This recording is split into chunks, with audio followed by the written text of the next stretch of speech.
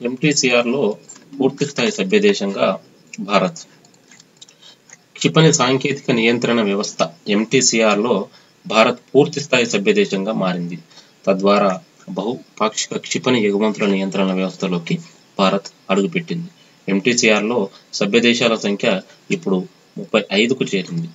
ఎంటీసీఆర్లో సభ్యత్వం వల్ల భారత్ ఆధునిక క్షిపణి సాంకేతికతను కొనొచ్చు ఎగుమతి చేసుకోవచ్చు.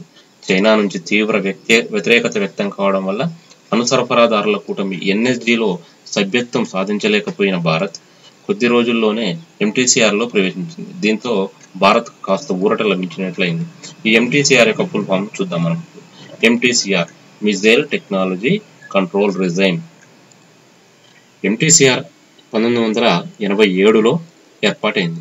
ప్రపంచంలోని ప్రధాన క్షిపణి తయారీ దేశాలన్నింటికీ ఇందులో సభ్యత్వం ఉంది.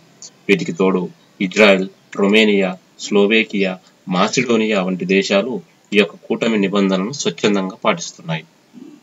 యాభై కిలోల పేలోడ్ను కనీసం మూడు వందల కిలోమీటర్ల దూరం మోసుకెళ్ళగలిగే క్షిపణులు పూర్తి స్థాయి ర్యాకెట్ వ్యవస్థలు మానవరహిత విమానాలు వాటికి సంబంధించిన పరిజ్ఞానాల వ్యాప్తిని నిరోధించడం ఎంటీసీఆర్ యొక్క ఉద్దేశం. Thank you